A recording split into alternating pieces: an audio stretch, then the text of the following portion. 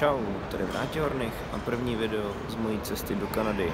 V únoru 2017 jsem získal pracovní víza Working Holiday na jeden rok do Kanady a vlastně vyrážím tam teďko v lednu 2019. Mám nějaký týden do ročního limitu, kdy tam můžu dorazit, takže už je na čase.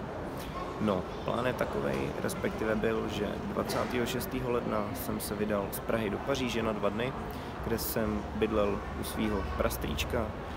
Proskoumal jsem dva dny Paříž a 29. ledna, což je právě teďko, eh, sedím na letišti Charles de Gaulle a budu mířit za nějakou hodinku a čtvrt do Montrealu, kde mám 4 hodiny, 4 hodiny 40 minut přestup a z Montrealu pokračuju do Vancouveru.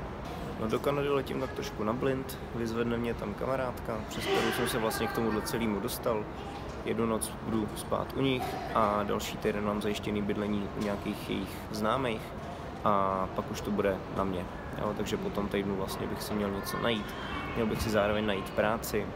Co se týče práce, tak jsem otevřený tak nějak všemu, co by mě aspoň trochu bavilo. Jinak původně jsem dělal chvíli v IT a pak jsem se přesunul do oblasti sportu. Fungoval jsem jako fitness trenér, trénoval jsem kruháče, možná znáte Fresh kruháč. Trénoval jsem volejbalistky Tatranu Střešovice jako kondiční trenér, tímto je zdravím. A e, bylo by hrozně fajn, kdyby se i tam v Kanadě podařilo najít něco takového. Už jsem tam byl v kontaktu s pár lidma, co tam fungují, taky jako trenéři, je tam se to dá takhle získat, tak uvidíme.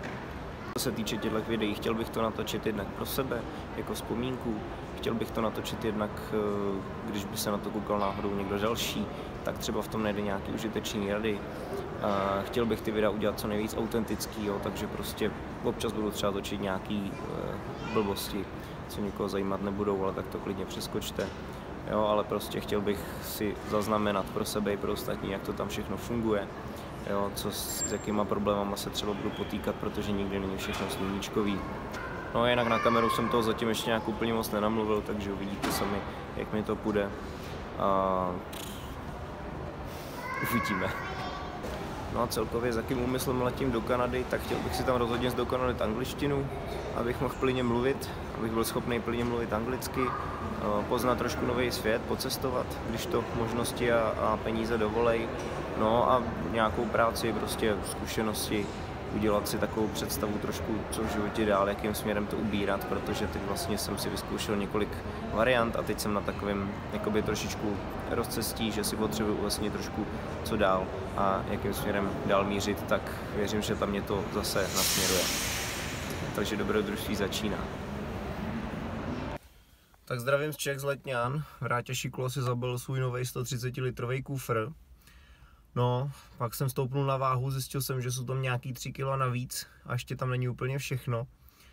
A hlavně jsem pak zjistil, že Air Transat kanadské aerolinky povolují součet rozměru 158 cm a jsem si ten kufr teda zkus moc změřil a on má asi 175 no. Takže mám větší zavazadlo, než mi vůbec můžou odbavit. Už jsem psal maila i na Facebook Air Transatu. Z obou stran mi odpověděli jakože teda příplatek za nadváhu a že ty rozměry mají striktně stanovený na 158, ale že si nepamatuju, že by měl někdo problém no, s vaze zavazadlem 15 číslama navíc. Jenže všude je to takový, nemůžem vám to garantovat. Takže naštěstí tady je kouzelný obchod Sports Direct, kam jsem se šel zeptat. Našel jsem si tam o trošku menší kufr. No, takže teď to tam jdu vyměnit. A teď ještě bude jedna strana, kterou hned ukážu. Kufr už je zabalený, protože jsem byl připravený na variantu, že mi to třeba nevyměněj. No a kdyby se tak stalo, tak to přece nebudu vybalovat, že jo. Jenže oni mi to vyměněj. Takže... Here we go. Jdem si přebalit věci v autě. No, bezva no. Tak to jdem vrátit. Tak mění názor. Zase tak skvělý obchod to není, kufr mi v pátky nevzali. Ale tak za blbost se platí, no, měl jsem si to nejdřív změřit, jo. Takže jsem o 17 lehčí. Kufr tady druhý je za mnou novej.